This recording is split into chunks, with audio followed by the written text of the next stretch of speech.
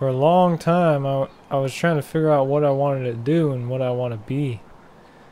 But I'm a farmer now.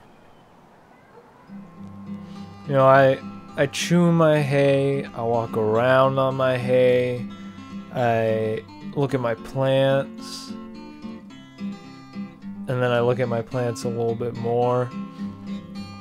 It's really nice. I it's much better than what I was doing before. I used to have to take melatonin every night to fall asleep. But now, I'm a farmer.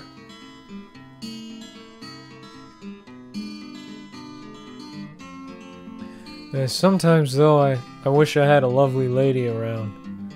You know, somebody that could help me do my taxes.